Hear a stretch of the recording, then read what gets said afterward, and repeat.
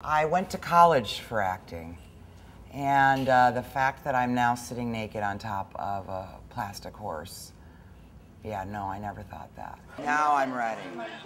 Now I'm ready to fight those carriage drivers. This is Kristen Johnston, and this is my new boyfriend, Axel, and we're here for PETA. I love Great you. laying down, baby. Thanks, So, yeah. guys. And remember the Well, my friend Jackie eh, see- saw the movie Blinders and was really affected by it. And she's one of my best friends, and she asked me to come to the New York premiere.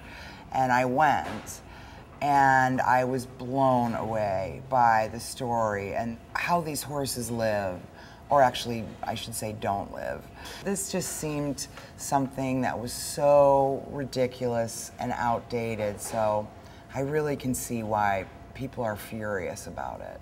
They go from this horrible trotting job where they, they're pulling people through the streets of Manhattan to this tiny jail cell in this building on like the ninth floor and it's it's it's horrible and i also didn't know this is the thing that i didn't know that horses need room to sleep i didn't know that they lay down i don't know why i just never thought of it i mean try propping me up for 10 years and i'll tell you it ain't pretty.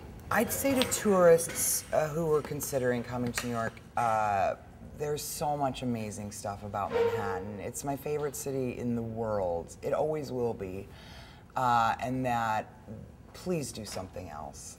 Oh my God, just take a walk. I'm, uh, that's how I feel. And I hope within the next year that, that there are no more carriage horses. just cut it now. I'm done. that was great.